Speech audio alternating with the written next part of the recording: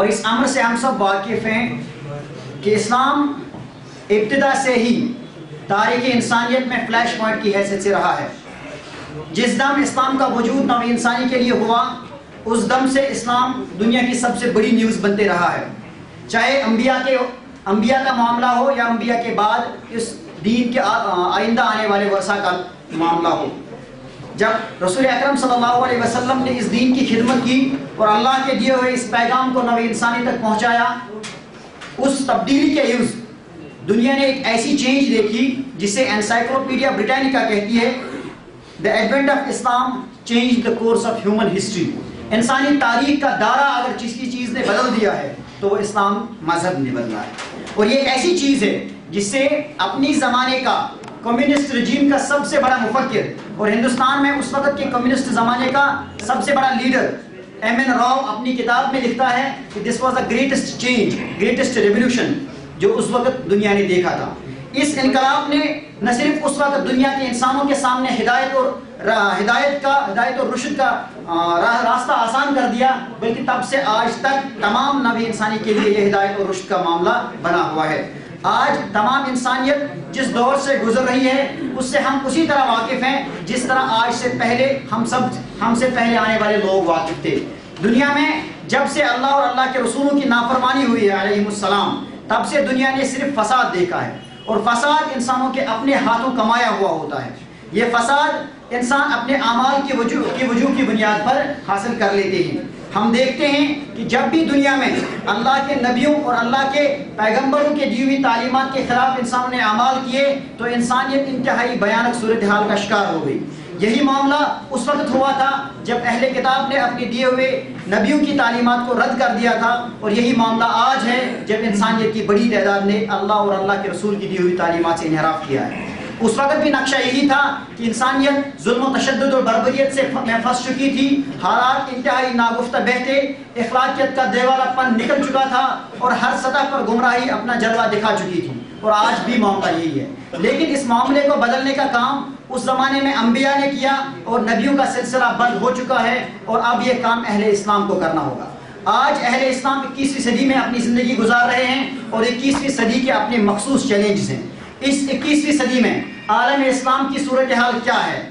آج بالخصوص مشرق وسطی میں مسلمان کس کس طرح کی زندگی گزار رہے ہیں؟ اور آئندہ مسلمان نسل کو کس طرح کے راہ عمل کو اختیار کرنا چاہیے؟ یہ ایک ایسا موضوع ہے جس پر کسی خاص اور اس معاملے میں سب سے فہیم اور دانشور شخص کو ہی بلانا مقصود تھا۔ اور ہمارے درمیان اللہ کے فضل و کرم سے اس معاملے کے انتہائی نباز شخص تشریف فرما ہیں جن کے تعارف سے ہم آخری سال بھی واقف ہو چکے تھے اور جن کی کتابوں سے ہم میں سے اکثر تقریباً پچھلے تیس سال سے واقف رہے ہوں گے۔ وہ ہیں جناب ڈاکٹر عبید اللہ فہد صاحب۔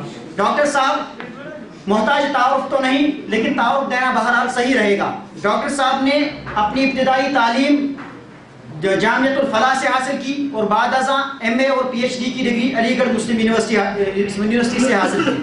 آپ علی گڑھ مسلم یونیورسٹی میں فی الحال اسسٹنٹ پروفیسر کی حیثیت سے کام کر رہے ہیں، تیس کتابوں سے زائد کتابوں کے مصنف ہیں، ایک سو سے زائد آرٹیکلز آپ کے انٹرنیشنل اور نیشنل جرائد میں پبلش ہو چکے ہیں اور عالمی پیمانے کے مفکر اور مقرر تسلیم کیے جاتے ہیں۔ پیس ٹی وی پر آپ میں سے اکثر لوگوں نے آپ کو دیکھا ہوگا۔ ہمارے لیے انتہائی خوش قسمتی ہے کہ آج اس حساس موضوع پر، جس پر نہ صرف ایک انسان کے سنسیٹیو ہونے کی ضرورت ہے، بلکہ انتہائی باریک مطالعہ بھی چاہیے۔ ہمارے درمیان اسی قسم کی شخصیت تشریف فرما ہے۔ ہم آپ اور ان کے درمیان حائل رہے بغیر ان کو دعوت دے دیتے ہیں کہ آپ تشریف لائے اور اس آڈینس سے خطاب فرمائیں۔ آپ کا عنوان رہے گا، عالم اسلام کی موجودہ صورتحال، بالخصوص مشرق وسطی جن حالات سے گزر رہا ہے، اس پر آپ کا بیان منحصر ہوگا۔ ہم آپ کو بلائیں گے، لیکن اسی شہر کے ساتھ جو علامہ اقبال نے کہا تھا، ہے وہی تیرے زمانے کا امام برحق، جو تجھے حاضر و موجود سے بیزار کر دے۔ دیکھے فکر زیاں، تیرا لہو گرما دے، فکر کی سان چڑھا کر تجھے تلوار کر دے۔ ڈاکٹر عبید اللہ فاضل صاحب۔ رب اشرح لي صدري ويسر لي امري، واحلل عقدة من لساني يفقهوا قولي. بزرگوں اور دوستوں السلام علیکم ورحمۃ اللہ وبرکاتہ میں یہاں Islamic university of science and technology بنتی پورا میں طلبا کے سامنے دو لیکچرز، دو محاضرات کے لیے حاضر ہوا تھا۔ ہمارے کرم فرما اور آپ سب کے محبوب جناب سہیل بشیر کار صاحب نے حکم دیا اور آپ کی محبت، آپ کی کشش اور آپ سے جو تعلق خاطر ہے، وہ مجھے یہاں کشا کشاں کھینچ کے لے آئے۔ حالانکہ میں پچھلے دو دنوں بڑا مصروف رہا اور ذہنی اور دماغی طور پر بہت تھکا ہوا اپنے آپ کو محسوس کرتا ہوں۔ لیکن جب کوئی ایسا موقع مجھے نظر آتا ہے جہاں کہ اسلام اور مسلمانوں کے مسائل سے دلچسپی رکھنے والے حضرات موجود ہوں اور امید کی کوئی کرن ہو، تو میں اپنا فریضہ سمجھتا ہوں کہ امت کی اس بیداری میں جو رول ادا کر سکوں اسے پیچھے نہ ہٹوں۔ آج مڈل ایسٹ میں خاص طور پر جمہوریت دستک دے رہی ہے۔ پچھلے دو تین سالوں کے واقعات نے خاص طور سے اور پچھلے ایک ڈیڑھ دو تین مہینے کے مسلسل سیاسی حادثات نے کچھ ایسی صورتحال پیدا کر دی ہے کہ مسلمان دو راہے پر کھڑا ہوا ہے۔ اسے سمجھ میں نہیں آ رہا ہے کہ یہ انقلابات جو مشرق وسطیٰ میں جنم لے رہے ہیں، وہاں اونٹ کس کروٹ بیٹھنے والا ہے؟ بعض لوگ اس میں امریکہ اور مغرب کا چوہے بلی کا کھیل، کا ڈرامہ دیکھ رہے ہیں۔ اور بعض لوگ نہایت ہی خوشائن طریقے سے جمہوریت کے ان حوالوں کو اسلام کی امید اور اسلام کے احیاء اور اسلام کی بیداری کے لیے امید افزا پیغام کے طور پر لے رہے ہیں۔ مسلمانوں کی ایک بڑی اکثریت ابھی جو لیبیا میں نیٹو کے مسلسل حملے ہو رہے ہیں، ان کو انتہائی سخت تشویش کی نگاہ سے دیکھ رہی۔ اور آج صورتحال یہ ہے کہ مسلمان بحثیت امت اپنے آپ کو اس پوزیشن میں نہیں پا رہے ہیں کہ وہ کوئی ایسا فیصلہ لے سکیں جو امت کے مفاد میں کام کرنے والا ستاون اٹھاون ممالک کے آزاد سلطنتوں کے مالک ہونے کے باوجود آج ہماری صورتحال یہ ہے کہ ہمارے ایک بڑے ملک سے ایک خاتون سائنسداں کو کڈنیپ کیا جاتا ہے اور پورا ملک تماشا دیکھتا چلا جاتا ہے، ڈاکٹر آفیہ ایبٹاغات آپریشن نے ایک بڑے مسلمان ملک کی بے بسی اور لاچاری کو پوری طرح ہمارے سامنے آیا کر دیا انتہائی لاچاری اور مجبوری کی کیفیت ہے جس میں آج مسلمان رہ رہے ہیں۔ آزادی اور خود مختاری کے نام پر ہم نے جو ملک قائم کیے، وہاں بھی ہم اس پوزیشن میں نہیں محسوس ہو رہے ہیں کہ آزادانہ طور پر کوئی فیصلہ لے سکیں امت کی فلاح و بہبود کے تعلق سے۔ اور ایک تہائی مسلمان ملکوں کی بڑی آبادی جو اقلیت کے طور پر یورپ، امریکہ اور دنیا کے دوسرے خطوں میں رہ رہی ہے، وہ بھی اکثریت کے جارحیت پسندانہ عزائم کے گھیرے میں رہنے کی وجہ سے تقریباً اپنے دائیانہ مقام کو فراموش کر بیٹھی۔ غیر مسلموں اور مسلمانوں کے درمیان دائی اور مدعو کا جو تعلق ہونا چاہیے تھا اور امت کو امت دعوت کی حیثیت سے اللہ رب العزت نے انہیں جس مقام پر فائز کیا تھا۔ کنتم خیر امت اخرجت للناس تأمرون بالمعروف وتنہون عن المنکر وتؤمنون باللہ۔ تم وہ بہترین امت ہو جو تمام انسانوں کی فلاح و بہبود کے لیے نکالے گئے ہو۔ تم لوگوں کو بھلائی کا حکم دیتے ہو اور برائی سے روکتے ہو۔ وہ خیر امت حادثات اور انقلابات کے جمگھٹے میں تقریباً غائب سی ہو گئی۔ بحثیت مجموعی۔ امت کی مجموعی صورتحال دھندلٹے میں مبتلا ہے۔ ایک ابہام سی کیفیت ہے۔ عجیب و غریب صورتحال ہے۔ ایسے میں مشرق وسطیٰ میں یہ جو تبدیلیاں نظر آ رہی ہیں، ان کے مختلف تعبیرات اور ان کے نتائج اور ان کے انٹرپریٹیشنس سیاسی مبصرین کالم نگار، دانشوران تھنک ٹینکس اپنے اپنے طور پر پیش کر رہے ہیں۔ لیکن قرآن پاک میں، اللہ رب العزت نے بہت پہلے یہ اعلان کر دیا تھا وہ مکرو وہ مکر اللہ واللہ خیر الماکرین اور ہم سب کا اس پر ایمان ہے۔ لہم مکرہم وللہ مکرو وَإِن كَانَ مَكْرُهُمْ لِتَزُولَ مِنْهُ الْجِبَالِ۔ ان کی اپنی چالیں ہیں۔ اللہ کی اپنی چال ہے۔ حالانکہ ان کی چالیں اتنی خطرناک ہیں کہ پہاڑ بھی اپنی جگہ سے ہل کے رہ جائیں ایک پوری دنیا یونیپولر ایک اس امپیرلزم کے سائے میں یک طرفہ طور پر ایک بڑی طاقت کے سائے میں رہنے کی وجہ سے سیاسی اور معاشی توازن ایک طرف جھک جانے کی وجہ سے ایک عجیب بے بسی کی کیفیت میں مبتلا ہے۔ لیکن جو لوگ خدا واحد پر ایمان رکھتے ہیں اللہ رب العزت کی کتاب قرآن کریم کی ابدیت پر ایمان رکھتے ہیں۔ اور جن کا یہ یقان ہے کہ ان کی چالیں اپنی جگہ، اللہ کی چال اپنی جگہ۔ نور خدا ہے کفر کی، حرکت پہ خندزن پھونکوں سے یہ چراغ بجھایا نہ جائے۔ گا ہمیں پورا یقین ہے۔ اور اس یقین اس یقین کی وجہ صرف قرآن کا کریم پر ہمارا ایمان ہی نہیں ہے، بلکہ سیاسی تجزیہ بھی اس کے پیچھے۔ کہ جو حالات کروٹ لے رہے ہیں، وہ انشاءاللہ مسلمانوں کے حق میں مفید اور بہتر ثابت ہیں۔ ہم نے تو پچھلے چالیس، بیالیس سال، اسی سال انتہائی کرب کی حالت میں گزارے۔ صدر حسنی مبارک نے تیس بتیس سال کا جبر، انتہائی جبر کا دور مصر میں گزارا۔ محمد قذافی بیالیس سال سے انتہائی بدترین جبر کی تصویر بنا بیٹھا ہوا ہے۔ صدر علی عبداللہ صالح یمن میں پچھلے بائیس، ستائیس سالوں سے ظلم کی چکی میں وہاں کے عوام کو پیس رہا ہے۔ لیکن ظلم اور جبر کی سیاہ رات کی ایک انتہا بھی تھی۔ وہ شب، وہ رات ختم ہوئی۔ اللہ رب العزت کا فرمان ہے۔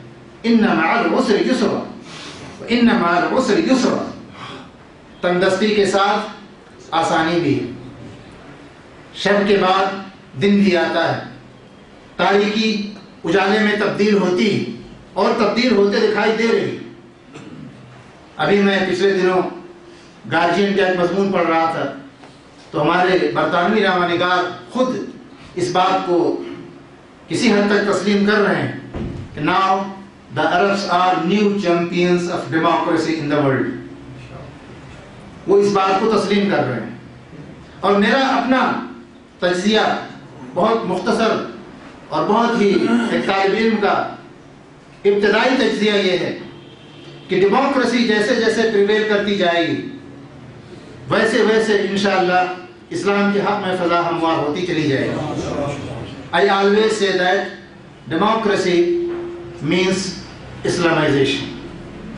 اگر بنیادی حقوق بحال ہوں گے ہیومن رائٹس کی حفاظت ہوگی سول لبرٹیز کو پورا موقع ملے گا کام کرنے کا، اور ہر ایک کو آزادی فکر میسر ہوگی، تو اسلام کی برکتیں، رسول رحمت صلی اللہ علیہ وسلم کی برکتیں، قرآن کریم کی حقانیت اور ابدیت کو ظاہر ہونے کا پورا موقع ملے گا ان حالات میں جبکہ بدترین جبر صدر حسنی مبارک نے اور اس سے پہلے جمال عبد الناصر نے اور اس سے پہلے شاہ فاروق نے مصر میں، امریکہ اور رشا کے دباؤ میں اسلام پسندوں کی، ان کے دن کا چین اور رات کی نیند ان کی حرام کر رکھی تھی۔ لیکن صبر، استقامت پامردی خدمت خل اخلاق حسنہ۔ معاشی اور فلاحی اسکیموں کا نفاذ۔ ان کا کوئی توڑ نہیں۔ یقین محکم عمل پہم محبت فاتح عالم۔ جہاد زندگانی میں ہے یہ مردوں کی شمشیریں۔ یہ جمہوریت پھولوں میں سجا کر کے نہیں پیش کر دی گئی۔ اس کے پیچھے قربانیوں کا ایک طویل قربانیوں کی ایک لازوال طویل جدوجہد ہے۔ جن لوگوں کی نگاہ ہے وہ جانتے ہیں۔ اخوان المسلمون نے اپنے بہترین مفسر، مدبر لائرز ڈٹیٹ انجینئرز ججز مصنفین، ادیب شہیدوں کے صف میں کھڑا کیا۔ سید قطب شہید مایا ناز مفسر قرآن. عبد القادر عودہ شہید. بہترین جج. حسن اسماعیل الحزیبی، شریعہ کورٹ اپیل کورٹ کے جج. حسن بنا شہید. ملک کے مایا ناز بہترین قابل لیڈر. ایک طویل تاریخ ہے، سید عمر تلمسانی. دیکھتے چلے جائیے اس پوری تاریخ میں. ملک کے مصر کی جو کریم ہے، وہ پوری ہے۔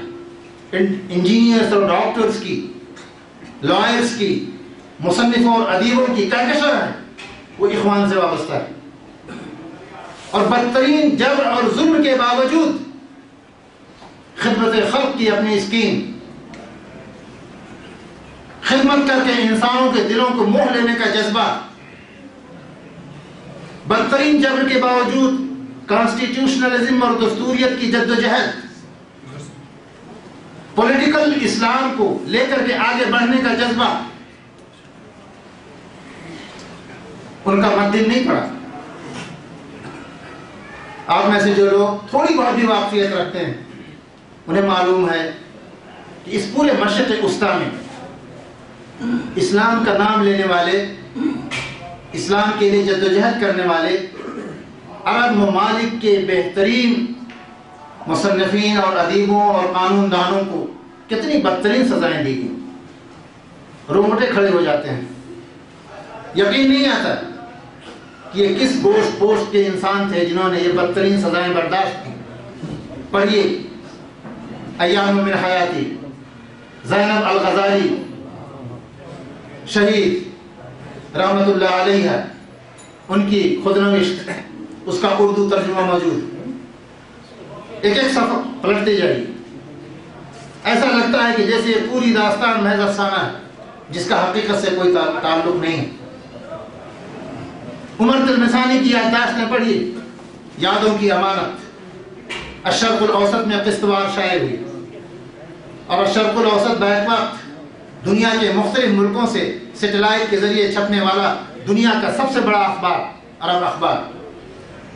اس میں تقریباً بیالیس قسطیں ان کے انٹرویو کے شائع ہوئی اور ہر انٹرویو پر انتہائی بہترین قسم کی قیمت امریکن ڈالرز میں انٹرویو دینے والے لوگوں کی خدمت میں پیش کیے گئے۔ عمر تلمسانی کی خدمت میں عصام الغازی اشرق الاوسط کے نمائندے نے اپنا مطالبہ رکھا کہ ہم چاہتے ہیں کہ جو آپ نے جبر اور ظلم کی سیاہ رات اپنی آنکھوں سے دیکھی ہے اسے آئندہ آنے والی نسلوں کے لیے محفوظ کر جائیں اور اخبار آپ کی خدمت میں نظرانہ پیش کرنے کے لیے تیار۔ عمر تلمسانی نے کہا، میں اخوان کی تاریخ کو بیچنا نہیں چاہتا۔ ایک نیا پیسہ وصول نہیں کیا۔ پورا انٹرویو شائع ہوا۔ اب وہ اردو ترجمہ یادوں کی امانت کی صورت میں ہمارے ساتھ محفوظ۔ ہے پڑھیے تو رونگٹے کھڑے ہو جاتے ہیں۔ یہ وہی لوگ تھے۔ ہمارے اور آپ جیسے لوگ۔ ہم بھی ایمان کا دعویٰ کرتے ہیں۔ ہم بھی مسلمان ہم بھی کلمہ پڑھتے ہیں۔ لا الہ الا اللہ کا ورد ہم بھی کرتے ہیں۔ ہم بھی اس بات کا اعلان کرتے ہیں کہ ہم مرتے اور جیتے ہیں اللہ کے لیے، اللہ کے نام کے لیے۔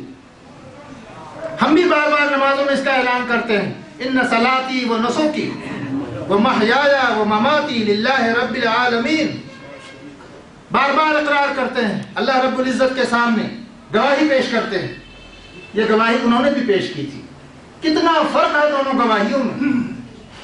انداز کتنا مختلف، قربانیاں کتنی مختلف، شہادتوں کی تاریخ کتنی مختلف۔ ایمان دعووں سے نہیں آتا۔ اسلام کہنے کی چیز نہیں ہوتی، کرنے کی چیز ہوتی۔ ایمان عمل کا مطالبہ کرتا ہے۔ شہادتیں تقریروں سے نہیں وجود میں آتی، بیلا قربانیوں سے وجود میں آتی۔ تب کوئی قوم ابھر کر کے اس پوزیشن میں ہوتی ہے کہ آج دنیا کے سارے مبصرین اس بات کو تسلیم کر رہے ہیں کہ مصر میں اس وقت سب سے بڑی اپوزیشن پارٹی اخوان المسلمین اور وہ الیکشن میں حصہ لینے جا رہی۔ اس نے اعلان کر دیا۔ اس کی فراست دیکھی۔ ٹونی بلیئر جیسا آدمی صدر حسنی مبارک کے ہٹنے کے بعد فوراً وہ اعلان کرتا ہے کہ اخوان کوئی بغیمبو نہیں۔ گھبراتے کیوں ہو تم؟ بارک اوباما اعلان کرتا ہے Ikhwan is not going to frame a power West کو تسلی دلاتے ہیں کہ اخوان حکومت نہیں بنانے جا رہے ہیں۔ گھبراؤ نہیں۔ ٹاپ موسٹ ان کے پولیٹیشینز پریشان ہیں اخوان کے وجود سے۔ کیسے اتنی بڑی اپوزیشن پارٹی بنی؟ اور آج دنیا کا ہر شخص اخوان کا نام کیوں لے رہا ہے؟ قربانیاں اس کے پیچھے۔ خدمتیں ہیں۔ ان کی عبادتیں ہیں۔ ان کی بے لوس خدمت ہے۔ اور دوسرے ملکوں میں آپ جائیں ٹیونیسیا میں، کتنی بڑی بڑی قربانیاں دی ان لوگوں نے؟ بیس بائیس سال تک۔ ٹیونیسیا کی اسلامی تحریک کے سربراہ، محمد راشد الغنوشی۔ جلا وطن کیے گئے، لندن میں بیس بائیس سال تک جلا وطنی کی زندگی گزاری۔ اور لندن میں بیٹھ کر کے انہوں نے اپنے ملک کی اسلامی تحریک کی قیادت کی۔ ان کی اہلیہ سمیہ غنوشی، بہترین جرنلسٹ۔ لندن میں بیٹھ کے انہوں نے احیاء اسلام کے خواب دیکھے مضامین لکھے۔ فیس بک پہ ان کے مضامین آئے۔ اور ایک ماڈریٹ اسلامک تھنکنگ احیاء اسلام کا ایک معتدل پسندانہ ایک اسکیم انہوں نے پیش کی۔ ایسے نہیں انقلابات آتے۔ لوگ تجزیہ کرنے والے کرتے ہیں۔ لیکن ان کے پیچھے جو قربانیاں ہم کو کوئی نہیں یاد رکھتا۔ لیکن ہم اللہ پر ایمان رکھنے والے لوگ ہیں۔ ہمیں قرآن پر پورا یقین ہے۔ ہمیں اللہ کی اس حکم پر پورا یقین ہے یریدون لیطفئوا نور اللہ بافواہہم واللہ متم نورہ ولو کرہ المشرکون۔ اللہ کا نور مکمل ہو کے رہے گا۔ اللہ کا نور، اللہ کی روشنی مکمل ہو کے رہے گی۔ میرے بزرگوں میرے دوستوں میرے بھائیوں اس کے کچھ تقاضے ہم سے اور آپ سے بھی ہر شخص کلکم مسعول، کلکم راع و کلکم مسعول عن رعیتی۔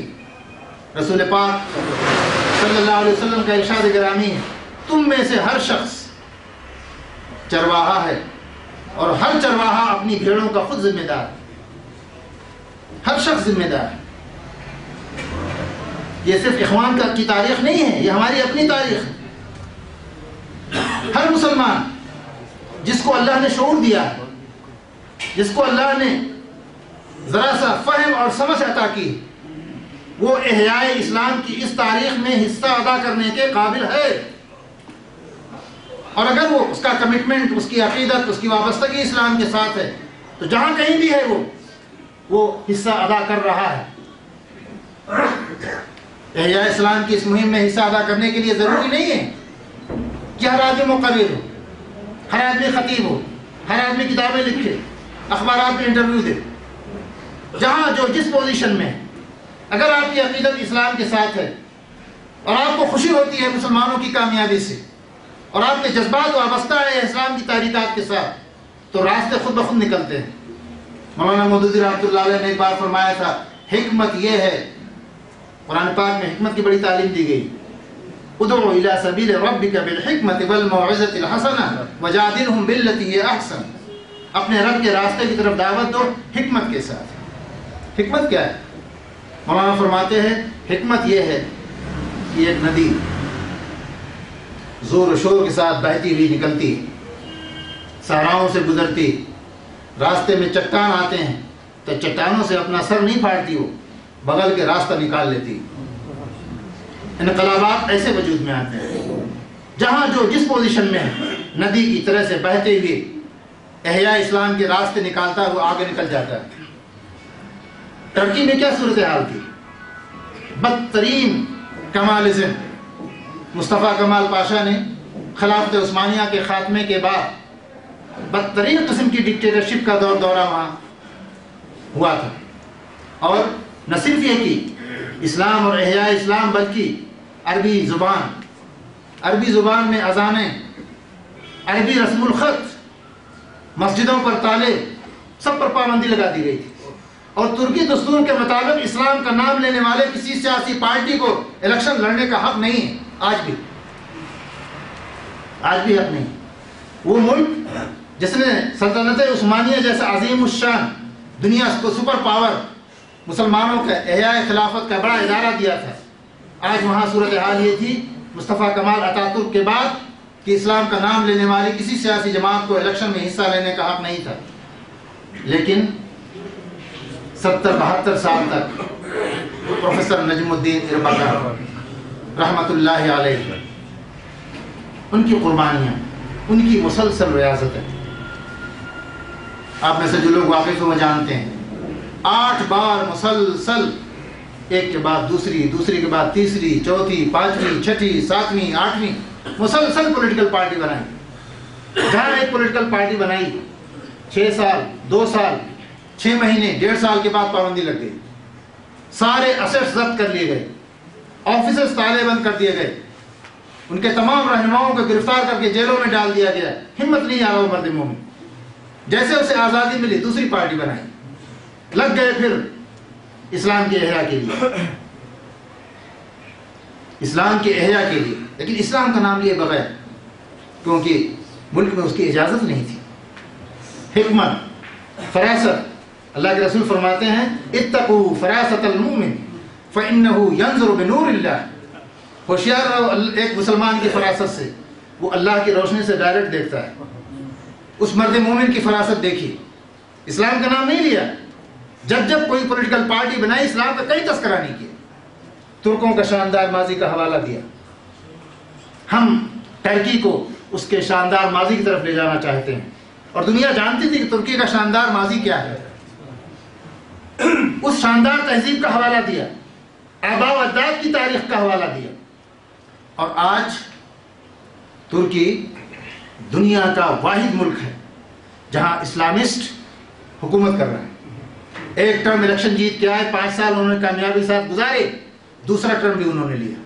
ریفرنڈم ہوا، ملک میں دباؤ رہا فوج کا۔ اس کے باوجود عبداللہ گل محمد طیب اردگان بھاری ووٹوں سے جیت کے آئے۔ ایسے نہیں کامیابی ملتی۔ ہے اس کے پیچھے بہتر سال کی قربانیاں ہیں۔ پروفیسر نجم الدین اربکان کی ریاضت، مسلسل جد و جہد فراست۔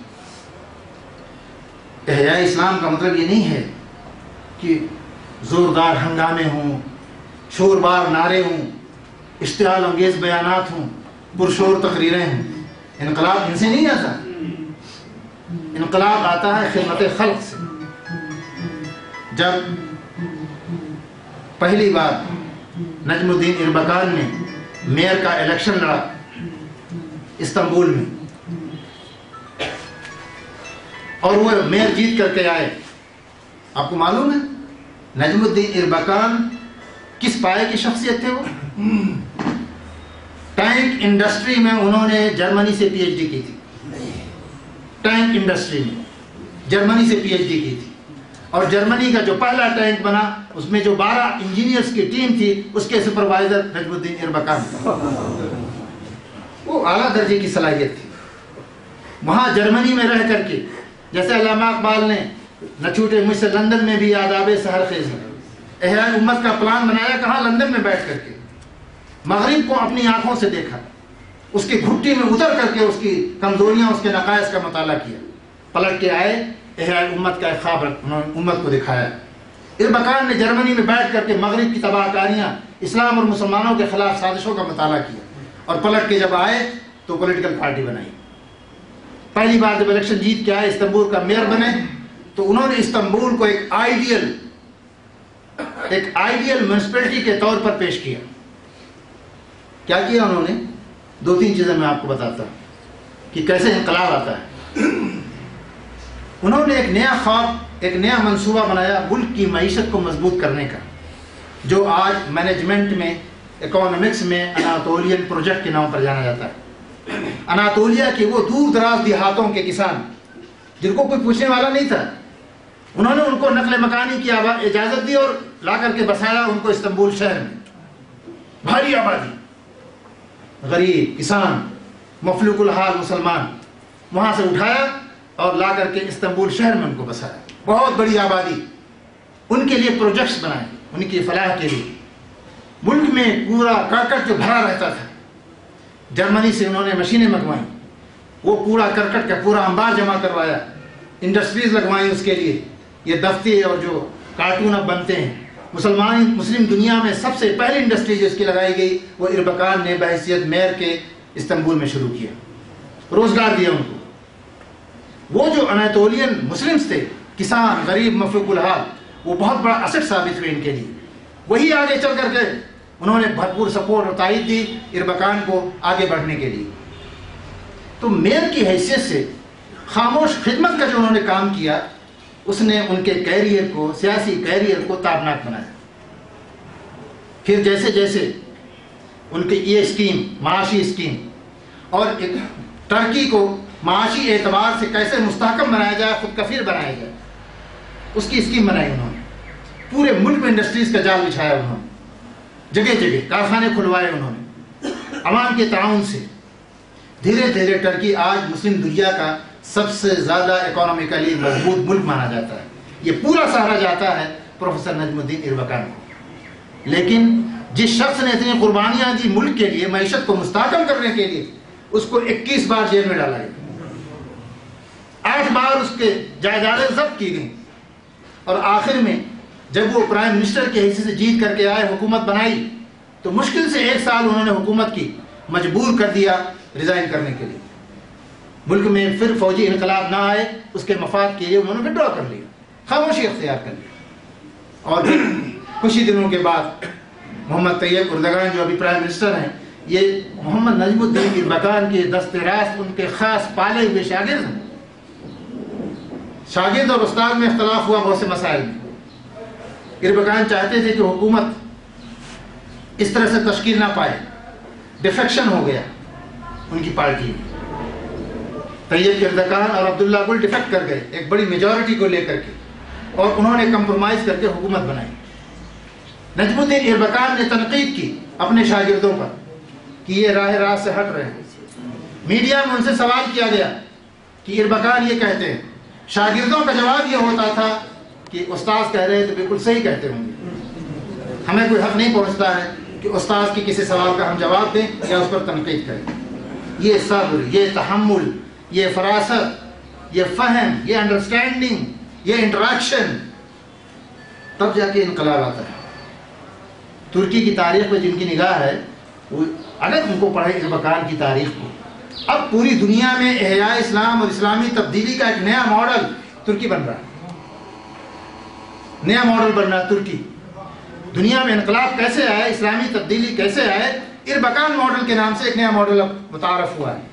ایک نیا ماڈل بالکل سامنے آیا جس کو ویسٹ کہتا ہے دس از کریپنگ اسلام کریپنگ اسلام وہ اسلام جو ہنگاموں اور طوفانوں کے ذریعے سے نہیں، سانپ کی طرح سے رینکتے ہوئے سوسائٹی میں گھس گیا۔ بڑی خاموشی کے ساتھ۔ اپنی فلاحی اسکیموں کے ذریعے سے، اپنے تحمل کے ذریعے سے، اپنی خدمتوں کے ذریعے سے، اپنی ریاضتوں کے ذریعے سے، اپنی معاشی اسکیموں کے ذریعے سے۔ پینیٹریٹ کر رہا ہے، گھس رہا ہے معاشرے کے اندر۔ اور ویسٹ مبصرین کہتے ہیں کہ شاید عالم اسلام کو اگر کوئی رہنمائی مل سکے گی اب، تو وہ ترکی ہوگا۔ علامہ اقبال تو بہت پہلے کہہ گئے تھے عطا مومن کو پھر درگاہ حق سے ہونے والا ہے۔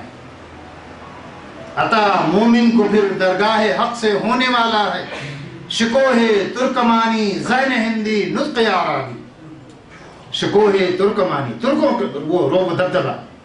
وہ خلافت کا، احیائی خلافت کا، عثمانی خلافت کا روب و دبدبہ۔ ایسا لگتا ہے کہ پھر وہ لوٹنے والا ہے۔ ایسا محسوس ہوتا ہے کہ ترکی عالم اسلام کے لیے ایک مشن راہ کے طور پر اسلامی تبدیلی کے لیے ایک نئے ماڈل کے طور پر کام کرے گا۔ جس میں بہت سمجھداری ہوگی۔ گراؤنڈ ریئلٹیز کا ریئلائزیشن ہوگا۔ ادراک ہوگا جس میں۔ اپنی کمیوں اور کمزوریوں کا اعتراف ہوگا۔ بحثیت مجموعی پوری امت کے اندر جو خامیاں ہیں، نقائص ہیں، ان کا محاسبہ اور احتساب ہوگا۔ اور غیروں پر الزام تھوپنے کے بجائے اپنی گفتگو کا رخ دوسروں کی طرف موڑنے کے بجائے اپنی طرف خطاب کا رخ اپنی طرف ہوگا اس وقت بحثیت مجموعی امت مسلمہ جن صورتحال سے دوچار ہے فکری طور پر اس میں بڑی اور حالی کی ضرورت ہے۔ بہت اور حالی کی ضرورت ہے۔ زبردست اور حالی کی ضرورت ہے۔ یہ جزوی اصطلاحات، جزوی مطالبے، جزوی اصلاحی منصوبوں سے کام نہیں ہوگا۔ پوری مشینری، پورا سسٹم، اسلامی فکر کا پورا سسٹم اس کو اوور حال کرنے کی ضرورت ہے۔ ایک نئی دنیا آباد کرنے کی ضرورت ہے، جس میں بہتر انٹریکشن بہتر انٹریکشن وہ انٹریکشن جس میں دائی اور مدعو کے درمیان امت دعوت اور امت اجابت کے درمیان افہام و تفہیم، محبت لو افیکشن کی بنیاد پر تعلقات استوار کیے جائیں۔ معاف کیجیے گا، میرے گفتگو کا رخ کہیں اور جا رہا ہے۔ لیکن پوری ہماری فقہ، اسلامی تاریخ، علماء نے جو فقہ کا لٹریچر تیار کیا ہے، اس میں غیر مسلموں کے ساتھ تعلقات کی جو نوعیت رہی ہے اب وہ نوعیت کام کرنے والی نہیں۔ ہمارے علماء نے فقہ میں غیر مسلموں کے تعلق سے جو کلیسیفیکیشن کیا، درجہ بندی کی، اس میں تین قسمیں ہیں غیر مسلموں۔ کی یا تو وہ ذمی بن کر کے اسلامی ریاست کے امن و امان میں رہے، یا تو عارضی طور پر اسلامی حکومت سے اجازت لے کر کے قیام کرے مستعمل بن کر رہے، یا پھر وہ دشمن بن کر کے، حربی بن کر کے اسلامی ملک کے خلاف جنگ کر رہا ہو۔ تین پوزیشنز بنائی ہیں ہمارے فقہ نے۔ آج وہ تینوں پوزیشنز کام کرنے والی نہیں آج دنیا میں کوئی دارالاسلام نہیں ہے، کوئی دارالحرب نہیں بڑی عجیب و غریب بات لگ رہی ہے۔ آج دنیا میں کوئی دارالاسلام نہیں آپ کہہ سکتے ہیں کہ کوئی ایک خطہ دنیا میں ایسا ہے جہاں اسلام اپنی پوری روح کے ساتھ، اپنے غایات اور اعلیٰ نصب العین کے ساتھ کار فرما ہو، کوئی ملک نہیں۔ آپ کہہ سکتے ہیں دنیا میں کوئی ایک خطہ ایسا ہے جہاں بحیثیت مجموع دارالحرب ہو؟ فقہ نے جو دارالحرب کی تعریف بیان کی ہے، آج تو پوری دنیا ایک پلورل سوسائٹی بن کے رہ رہی ہے۔ پلورلزم ہے گلوبلائزیشن ہے۔ مسلمان ہر ملک میں آباد ہیں۔ غیر مسلموں کے ساتھ رہ رہے ہیں۔ ان سے انٹریکشن ہو رہا ہے۔ مائنارٹی کے طور پر رہ رہے ہوں یا پاور شیئر کر رہے ہوں؟ تو آج نا بحثیت مجموعی exclusively in the strict sense of the jurisprudence neither there is any دار الاسلام نہ دیر از دار الحرب ہمیں اب غیر مسلموں کے ساتھ انٹریکشن کے کچھ نئے اصول بنانے پڑیں گے۔ یہ اسلامک تھنکنگ کی بات میں کر رہا تھا۔ ہمیں ڈیولپ کرنا پڑے گا ایک نئی تھنکنگ کو۔ وہ تھنکنگ جو پروفیسر نجم الدین اربکان نے ڈیولپ کی ٹرکی میں۔ اگر انہوں نے کلاسیکل لٹریچر کی ایک روایاتی تصور کو اڈاپٹ کیا ہوتا، تو آج وہاں بھی کمالزم اسی طرح سے غالب ہوتا، اسلام وہاں حکومت نہ کر رہا ہوتا۔ یہ ریئلائزیشن اخوان المسلمون کے یہاں بھی پایا جاتا ہے۔ ایک عرصے تک جبر و تشدد کے سائے میں پروان چڑھنے کے بعد اخوان المسلمون نے بھی یہ ریئلائز کیا کہ بدلتے ہوئے حالات میں ہمیں اپنی اسٹریٹجی کو حکمت عملی کو بدلنے کی ضرورت ہے۔ یہ پہلی بار ان کی تاریخ میں ہو رہا ہے کہ انہوں نے ایک سیاسی پارٹی الگ سے بنائی، اخوان المسلمون نے اس سے پہلے اخوان المسلمون کے نام سے ہی وہ کام کرتے رہے، آپ جانتے ہیں۔ اور کسی بھی، نہ جمال عبد الناصر نے، نہ صدر حسنی مبارک نے، کسی نے بھی ان کو اخوان مسلمین کے نام سے کام کرنے کی اجازت نہیں دی۔ ان جب جب الیکشن وہاں ہوا اخوان کے امیدوار، آزاد امیدوار کے طور پر کھڑے ہوئے الیکشن میں کامیاب ہوتے رہے۔ تمام تر فراڈ اور تمام تر ان فیئر مینس کے باوجود۔ یہ پہلی بار ان کی تاریخ میں ہو رہا ہے کہ ایک سیاسی پارٹی وہ بنا رہے ہیں، بنا چکے ہیں اور اب وہ پارلیمنٹری الیکشن میں حصہ لینے کے لیے پر توڑ رہے ہیں۔ تو جو بدلے ہوئے حالات ہیں، اس کا ادراک اخوان بھی کر رہے ہیں۔ ایک نئی اسلامی تھنکنگ کی ضرورت ہے۔ خواتین کا جو مقام و مرتبہ ہے سوسائٹی میں ہمارے یہاں فقہ نے جو دے رکھا ہے ہمارے، علماء نے دے رکھا ہے، آپ کیا سمجھتے ہیں آج کے زمانے میں وہ ورکیبل ہے؟ ہمارا پورا لٹریچر اس طرح سے ڈیولپ ہوا ہے کہ جیسے کہ خواتین کا میدان کار، وہ ان کا اپنا گھر ہے، گھر کے اندر ہم نے ان کو بند کر کے رکھ دیا۔ اور ہم آئے یہ نقل کرتے ہیں وقر نافی بیوت کنہ وہ گھروں کے اندر وقار اور سکینت کے ساتھ بیٹھی رہیں۔ جو کہ ازواج متحرات کے لیے خاص تھا۔ رسول اللہ صلی اللہ علیہ وسلم کے زمانے میں قرآن کریم کے اندر دور خلافت راشدہ میں، بنو امیہ کے زمانے میں، بنو عباس کے زمانے میں، یہاں تک کہ عثمانی خلافت کے زمانے تک خواتین سماجی میدان میں پوری طرح سے متحرک رہیں، ان کو تمام آزادیاں حاصل رہیں۔ حضرت عمر فاروق رضی اللہ تعالیٰ عنہ نے مدینہ کی مارکیٹنگ کا اوورسیئر کیئر ٹیکر ایک خاتون صحابی رسول کو بنایا۔ روایات میں آتا ہے کہ وہ جب نکلتی تھی مارکیٹ کی نگرانی کرنے کے لیے تو اپنا درہ ہلاتے ہوئے چلتی تھی۔ خوف سے لرستے تھے مارکیٹ میں دکاندار۔ ایک تماشا، ایک ہنگامہ ہو جاتا تھا کہ آ رہے ہیں۔ حضرت عمر فاروق رضی اللہ تعالیٰ عنہ کے تقوی اور تفقع کو کون چیلنج کر سکتا ہے؟ کس کے اندر ہمت انہوں نے بنایا تھا۔ رسول پاک صلی اللہ علیہ وسلم کی ازواج متحرات میں سے حضرت عائشہ صدیقہ رضی اللہ تعالی عنہ نے جو محفل درس مقرر کی، جو قرآن کریم کی تفسیریں بیان کی، اس میں مرد اور عورت دونوں اٹینڈ کرتے تھے ان محفلوں کو۔ یہ سب تاریخ کے واقعات ہیں۔ رسول اللہ صلی اللہ علیہ وسلم کے زمانے میں خواتین مستقل مسجد نبوی میں نماز کے لیے حاضر ہوا کرتی تھی حضرت عمر فاروق کے زمانے میں حضرت عمر فاروق نے بدلے ہوئے حالات میں کچھ پابندی لگانی چاہیے کہ خواتین اگر مسجدوں میں نہ جائیں، حالات خراب ہو چکے ہیں۔ ان کے صاحبزادے حضرت عبداللہ ابن عمر کی بیوی نے اعتراض کیا کہ عمر کون ہوتے ہیں؟ خواتین کو بنیادی حق سے محروم کرنے والے، جن کو اللہ کے رسول نے مسجدوں میں جانے کی اجازت دی تھی، ہم ڈنکے کی چوٹ پہ جائیں گے۔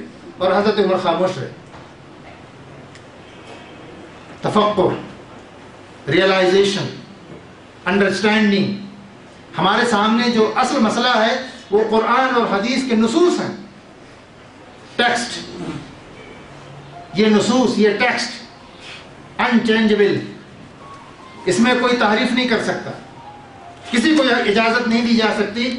جیسے جو نس ہے، اللہ کے رسول کی جو حدیث مبارک ہے، قرآن کریم کی جو آیت ہے، ہمیں اس پر عمل کرنا ہے۔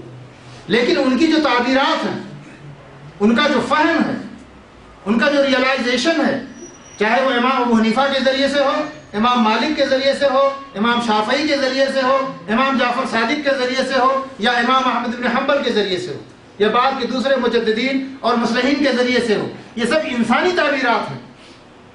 یہ عما، یہ ائمہ، یہ فقہ یہ علماء، یہ مجددین، یہ مسلحین انتہائی متبرک، مقدس، قابل احترام، لیکن انسان ہیں۔ ان سے غلطیاں ہو سکتی ہیں۔ اپنے زمانے کے حالات کے لحاظ سے انہوں نے کچھ تعبیرات کی، اس کو نافذ کیا جو اس زمانے میں بہترین تعبیرات تھی آج حالات بدلے ہوئے ہیں۔ ضرورت ہے کہ مسلم تھنکنگ کو اثر نو اس کا جائزہ لیا جائے۔ اور بدلے ہوئے حالات میں رسول پاک صلی اللہ علیہ وسلم کے اسوا کو سامنے رکھ کر اور قرآن کریم کی آیات کو سامنے رکھ کر ایک نئی تھنکنگ ڈیولپ کی جائے۔ آئین نو سے ڈرنا، طرز کوہن پہ اڑنا، منزل یہی کٹھن ہے قوموں کی زندگی میں۔ علامہ اقبال فرماتے ہیں۔ آئین نو سے ڈرنا، طرز کوہن پہ اڑنا، منزل یہی کٹھن ہے قوموں کی زندگی میں۔ لیکن آج ہم بحیثیت قوم اور امت کے جہاں پہنچ چکے ہیں، وہ گاڑی ریورس بیک نہیں ہو سکتی۔ پیچھے نہیں جائے گی گاڑی۔ تہذیب کی گاڑی ہمیشہ آگے جاتی۔ ہے آج عرب ملکوں میں جو جمہوریت آ رہی ہے، اس کو پیچھے نہیں ڈھکیلا جا سکتا کسی قیمت پر بھی۔ ہاں اس جمہوریت کو اسلام کے حق میں زیادہ مفید اور کارآمد بنانے کے لیے اقدامات کرنے کی ضرورت ہے۔ اس کے لیے اقدامات کرنے کی ضرورت ہے۔ سیاسی سطح پر بھی، معاشی سطح پر بھی اور تھنکنگ کی سطح پر بھی۔ مسلم سائیکی کو، مسلم مائنڈ کو چینج کرنے کی ضرورت ہے۔ ریئلائزیشن کی ضرورت ہے۔ ادراک کی ضرورت ہے۔ قرآن اور سنت کے نصوص کو سامنے رکھ کر کے نئی تعبیرات کی ضرورت ہے۔ یہ اخوان بھی کر رہے ہیں اور یہی ترکی میں پروفیسر نجم الدین اربکان اور ان کے معاونین محمد طیب اردگان اور عبداللہ گل اور دوسرے رہنما کر رہے ہیں۔ اخوان کی جو تاریخ ہے، وہ صبر اور عظیمت کی تاریخ ہے۔ ایک طرف صبر اور عظیمت ہے، دوسری طرف ریئلائزیشن ہے۔ دونوں ساتھ ساتھ چلتے ہیں۔ نہ ہم عظیمت کو چھوڑ سکتے ہیں اور نہ ادراک کو چھوڑ سکتے۔ ہیں ادراک کے پیچھے اگر عظیمتوں کی تاریخ نہ ہو تو ادراک محض ایک بہانہ بن جاتا ہے۔ خود بدلتے نہیں، قرآن کو بدل دیتے ہیں۔ ہوئے کس درجہ فقیحان حرم بے توفیق۔ قرآن کو نہیں بدلا جا سکتا۔ قرآن کے نفاذ کے لیے ہونے والی جدوجہد کے پیچھے عظیمتوں اور شہادتوں کی تاریخ ضروری ہے۔ اب نہیں آتا۔ عظیمتیں بھی ہوتی ہیں، شہادتیں بھی ہوتی ہیں، اور اس کے ساتھ ریئلائزیشن بھی ہوتا ہے اشتہاد بھی ہوتا ہے، بدلے ہوئے حالات میں نئی راہیں تلاش کرنے کی تکنیک بھی ہوتی ہے، جس کو ہمارے فقہ نے اشتہاد اور قیاس کہا ہے۔ اشتہاد نام ہے نئے نئے علوم کو حاصل کر کے، سائنس اور ٹیکنالوجی میں درد پیدا کر کے، مسلم امت کے فلاح کے نئے نئے منصوبے بنانا قرآن و سنت کی روشنی میں۔ اور ان منصوبوں کے نفاذ کے لیے شہادتوں اور عظیمتوں کی تاریخ رقم کرتے چلے جانا۔ یہ دونوں ساتھ ساتھ چلتے ہیں۔ اخوان نے یہی کیا۔ اگر آپ ان کی شہادتوں کی تاریخ پڑھیں، صرف ایک واقعہ سناتا ہوں آپ کو۔ اس کے بعد ان کی ریئلائزیشن کی ایک بات کہہ کے اپنی بات ختم کرتا ہوں۔ میں بھی پچھلے دنوں پڑھ رہا تھا۔ احمد رائف ایک مصری بڑے ادیب، کچھ دنوں کے لیے وہ جیل میں بند ہوئے۔ جن کا اخوان سے کوئی تعلق نہیں تھا، پہلے۔ جب انہیں اس جرم میں زبردستی اٹھا کر کے کہ یہ اسلامی ادب پہ کام کرتے ہیں، ناصر نے جیلوں میں بند کر دیا تو جیل میں جا کر کے ان کا ایمان تازہ ہو گیا۔ اخوان جوائن کر لیا انہوں نے۔ وہاں سے جب وہ نکلے تو ایک بہترین کتاب لکھی، البوابۃ السودا اس کا اردو ترجمہ ہمارے یہاں موجود ہے، روداد ابتلا کے نام سے۔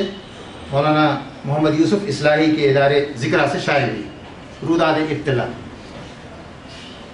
ایک واقعہ میں آپ کو سناتا ہوں کہ کون سی عظیمت کی یہ تاریخ۔ احمد راج کہتے ہیں کہ ایک دن یکایت جیل میں کوہرام سمجھ گیا۔ ہم لوگوں کو فوجی پریڈ کرائی جا رہی تھی۔ فوجی سارے قیدیوں کو پریڈ کرا رہے تھے۔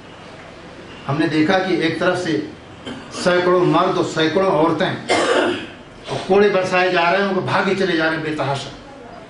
معلوم ہوا کہ یہ قیدیوں کی نئی کھیپ ہے جو پکڑ کے کسی گاؤں سے لائی گئی۔ پتہ چلا کہ یہ مصر کے بہت دور دراز کے دیہات کرداسا ایک بستی ہے، وہاں کی ایک کہانی ہے۔ وہاں کے بیچارے غریب کسان ہیں، جن کو پکڑ کے لا کے جیلوں میں بند کیا گیا۔